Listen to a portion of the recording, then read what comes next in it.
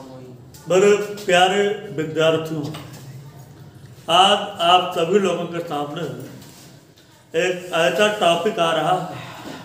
ऐसे टॉपिक के बारे में आपको जानकारियाँ प्रदान की जाएँगी, जिसको आप लोगों को इसके बारे में जानकारी अगर प्राप्त होगी तो आप सभी विद्यार्थियों को बहुत अच्छा लगेगा कि हमको जो जानकारियाँ नहीं प्राप्त थी, वो आज मुझे प्राप्त हुई। हम आपके सामने किस चैप्टर की बात कर रहा हूँ? ज़रा देखने का प्रयास करेंगे। मैं बोल रहा हूँ D block D block element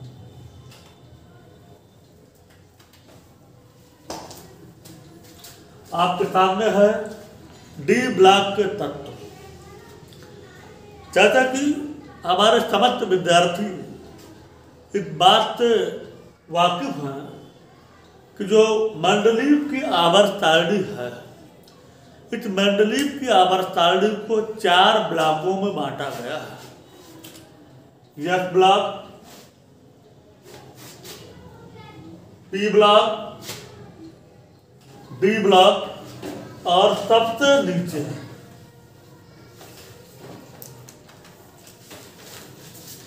सबसे नीचे आपका क्या है?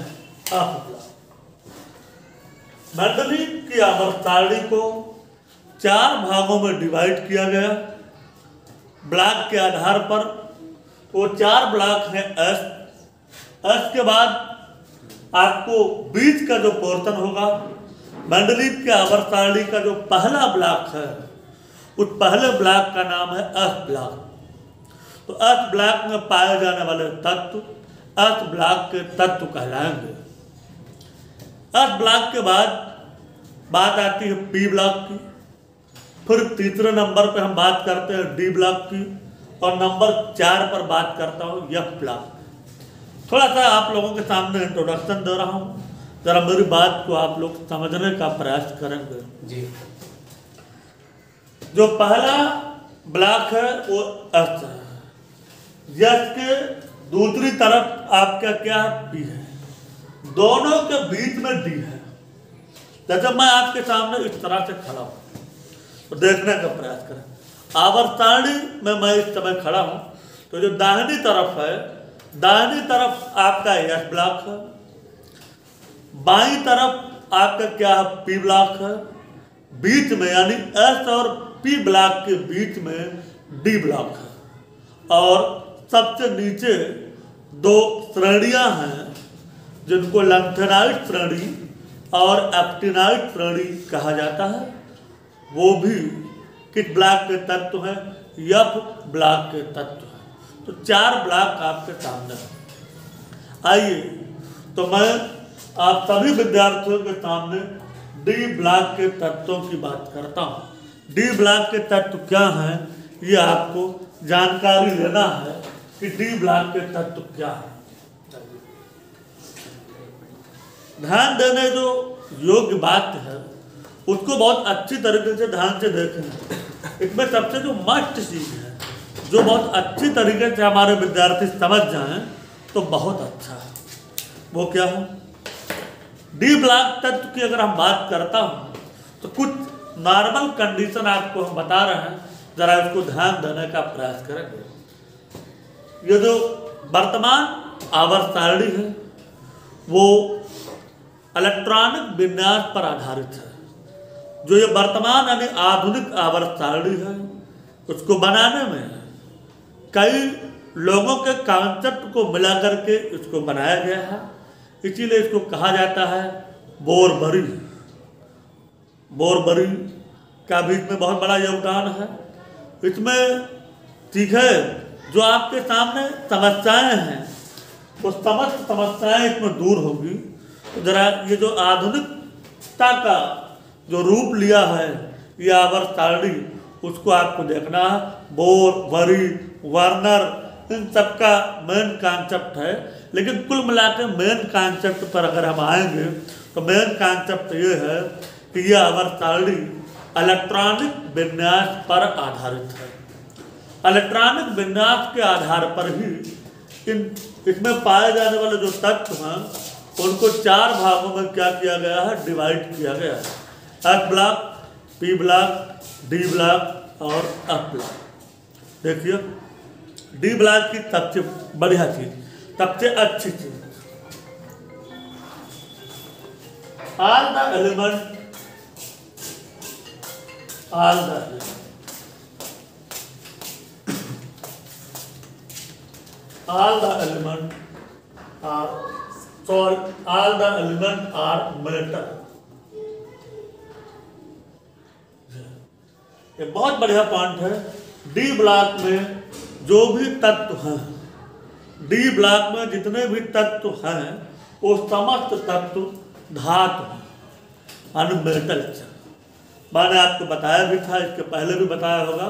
यानी डी ब्लॉक में पाए जाने वाले समस्त तत्व क्या है?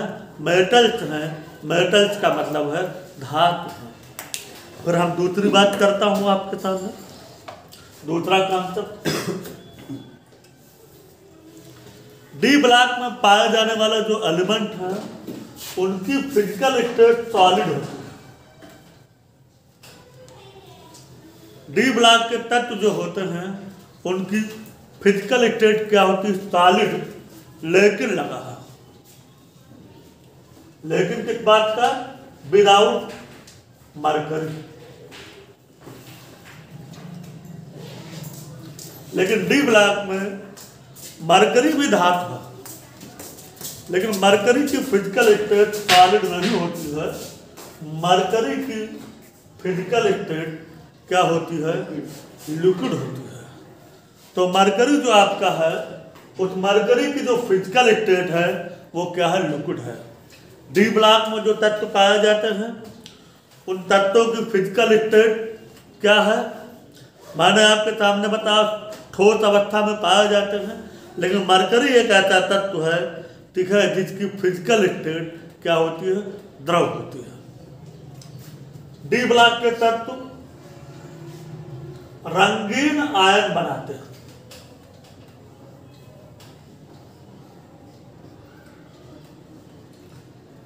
डी के तत्व, रंगीन आयन कलर। Coloured ion. तो डी ब्लैक के जो आयन होते हैं, वो क्या होते हैं? रंगीन होते हैं। तो डी ब्लैक के जो तत्व हैं, वो अगर आपके सामने, अगर वो आयन के रूप में है तो उनके आयन कलर्ड होते हैं। दूसरी चीज़ है आपके सामने।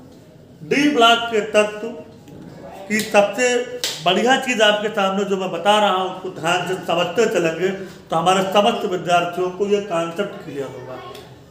डी ब्लॉक तत्वों का मैग्नेटिक बिहेवियर पैरामैग्नेटिक होता है। डी ब्लॉक के तत्व का मैंने आपके सामने एक एक पॉइंट कहा, उसको बहुत अच्छी तरीके से समझिए। डी ब्लॉक के जो तत्व होते हैं, वो धातु होते हैं। डी ब्लैक के जो धातुएँ हैं, उनकी भौतिक अवस्था ठोस होती है, लेकिन मरकरी की भौतिक अवस्था द्रव होती है। डी ब्लैक के जो तत्व हैं, उनके जो आयन हैं, वो रंगीन यानी कलर, यानी कलर्ड होते हैं। डी ब्लैक के जो तत्व है, उनका जो चुंबक के प्रति व्यवहार है, बिहेवियर टूवर्ड मैग्नेट। यानी चुंबक के प्रति कैसा व्यवहार है, वो कहता है पैरा मैग्नेटिक होता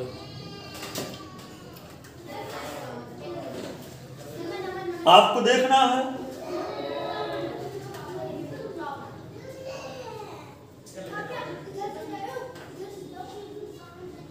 सबसे मस्ट पॉइंट जो आपके सामने ये है, ये भी आपको देखना है। क्या देखना है? डी ब्लॉक के जो तत्व होते हैं उनकी ऑक्सीकरण अवस्था परिवर्तनशील होती है। उनकी ऑक्सीकरण अवस्था परिवर्तनशील होती है। इसका मतलब हुआ कि आपको ऐसे कई डी ब्लॉक के तत्व मिलेंगे जो कंपाउंड में डिफरेंट टाइप की ऑक्सीडेशन स्टेट शो करेंगे। जैसे डी ब्लॉक का तत्व है, एक आपका फेरस सल्फेट लिखते हो। एक को आप फेरिक लिखते हो। तो फेरक में आयरन की ऑक्सीडेशन स्टेट प्लस टू है, जबकि फेरिक में आयरन की ऑक्सीडेशन स्टेट प्लस थ्री है। तो ये कौन सी है? परिवर्तनशील ऑक्सीकरण अवस्था प्रदर्शित करते हैं। अगला पॉइंट किसी की तरह समानता रखते हुए परिवर्तनशील संयोजकता। यानी जो डी ब्लॉक के तत्व हैं, उनकी संयोजकता भी क्या होती है? परिवर्तनशील होती है। जैसे अभी मैंने बताया आयरन की संयोजकता टू भी आपको मिलेगी आयरन की संयोजकता थ्री भी मिलेगी। तो यानी परिवर्तनशील संयोजकता है ऑक्सीकरण अवस्था भी क्या है? परिवर्तनशील है। ये सब चीज़ें आपके सामने बहुत मोस्ट इंपॉर्टेंट करेक्टर मैंने इसके बताए हैं डी ब्लॉक के बताए लेकिन डी ब्लॉक यानी इन तत्वों को डी का नाम क्यों दिया गया? प्रश्न उठ रहा है, स्वाभाविक प्रश्न उठ रहा है कि इन तत्वों को डी ब्लॉक का तत्व क्यों कहा? यहाँ पर मैंने अभी पूरा कॉन्सेप्ट नहीं दिया है, इसमें कुछ चीज़ें अभी समस्यात्मक हैं। तो वो मैं आपके सामने बोल रहा हूँ। मैंने एक बार पुनः मैं बोल देता हूँ, ये जो आवर्ताणी है आधुनिक, उसको बोर, वरी रांग और वर्नर ने दिया है। इन लोगों ने इलेक्ट्रॉनिक विन्यास के आधार पर तत्वों को क्या किया? क्रमबद्ध किया है। परमाणु क्रमांक बढ़ते हुए क्रम। बात उठ रही है। उस बात को जरा मैं ध्यान से रखता हूँ आपके सामने। बहुत अच्छा और स्ट्रांगर पॉइंट आपके सामने है। अगर आप समझते हैं तो आपको अच्छा लगेगा कि हम क्या कहना चाहते हैं। हमने कहा कि तत्वों को डी ब्लॉक का तत्व या डी ब्लॉक के एलिमेंट क्यों कहा गया? ऐसा इसलिए कहा जाता है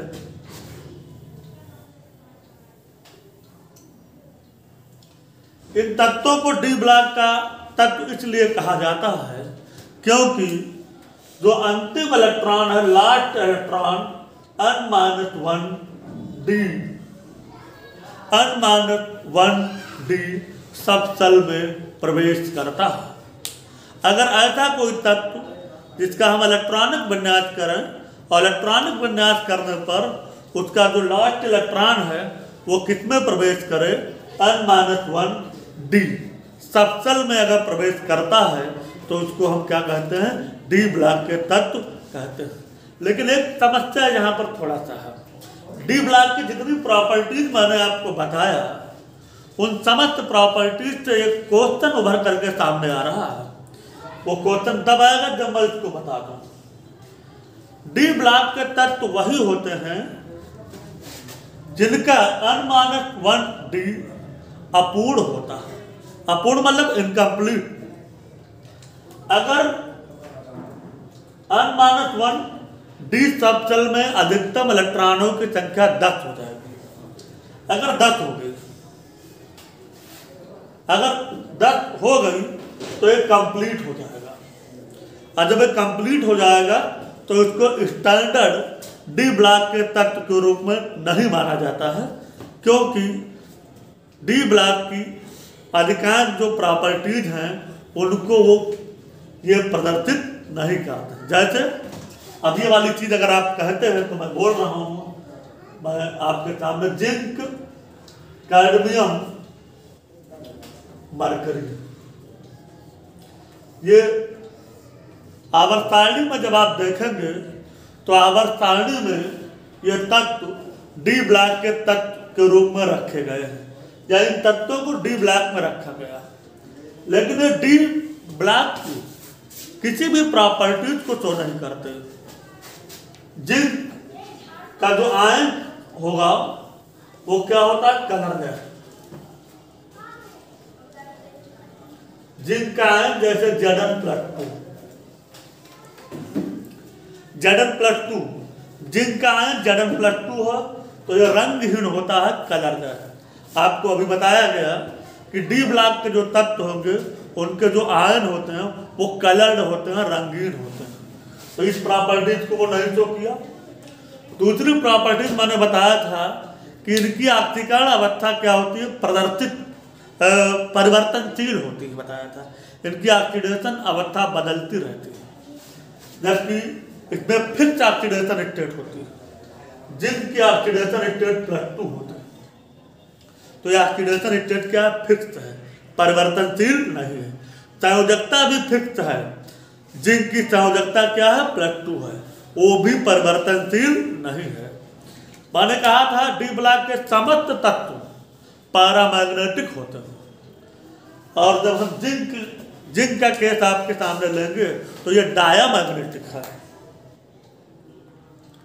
तो ये डायामैग्नेटिक है, यानी डी ब्लैक के जो आपको करेक्टर बताए गए, वो करेक्टर इन लोगों के द्वारा फॉलो नहीं किया जाता तो समस्या है। तो उस समस्या को दूर करने के लिए जो डी ब्लॉक के तत्व हों, उनको संक्रमण तत्व कहा जाता है।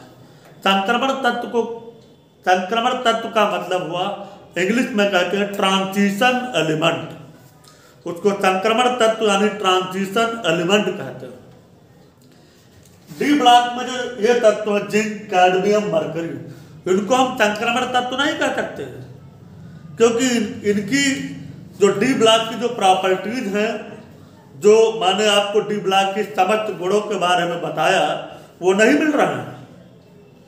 तो एक समस्या, संक्रमण तत्व इसीलिए कहा जाता है जिनके गुण यस ब्लॉक और पी ब्लॉक से मैच करते हैं, दोनों के बीच में यानी डी को बीच में क्यों रखा गया?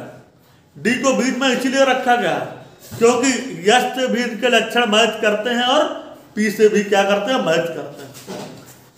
तो इसमें समस्या आ गई।